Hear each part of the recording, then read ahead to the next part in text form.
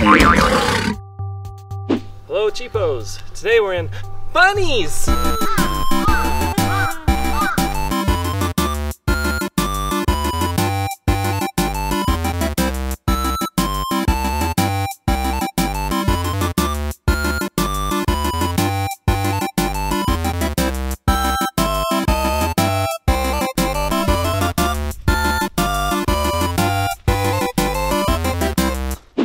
Located about two hours from Hiroshima City and a short hop from Tadanoumi Station is the small island of Okunoshima, otherwise known as Rabbit Island. Although famous today for its cute inhabitants, the island has a dark past when the Japanese Imperial Army secretly developed chemical weapons on the island starting in 1925. Abandoned structures serve as a reminder of when the tourist spot was a military stronghold, and it was long rumored that the furry friends that occupy the island now are descendants from escaped test subjects to get to Okunoshima from JR Hiroshima Station, you'll need to take the train to JR Tadanoumi Station. Although you could also spring for the Shinkansen and change at Mihara Station. Near Tadanoumi is the ferry to Okunoshima and the gift shop. It's pretty hard to miss. You can buy rabbit food here for 200 yen per bag, but you can also get it for 100 yen cheaper at the nearest konbini.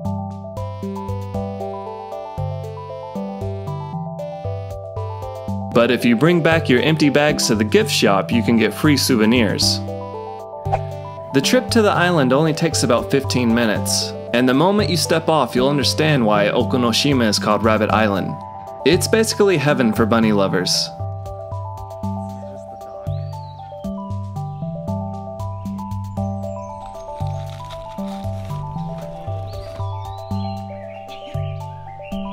Just make sure you follow the rules for the bunny's safety. The path around the island takes about two hours on foot, so make sure you have enough food for everyone.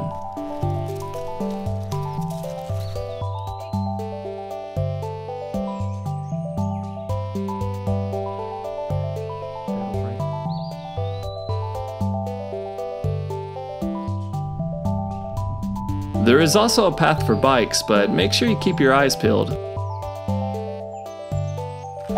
Okunoshima is also great for military and history buffs. A lot of the original military structures remain, serving as a haunting reminder of what the island once was, despite all the cuteness running around. Anyone up for some urban exploration? I'm just kidding, don't do that. Also on the island is a visitor center, and the Poison Gas Museum that has a great anti-war message inside. There's also the island's only resort and restaurant. But you can also camp out and even barbecue if you don't mind the nosy neighbors. This is how I want to die. Hello.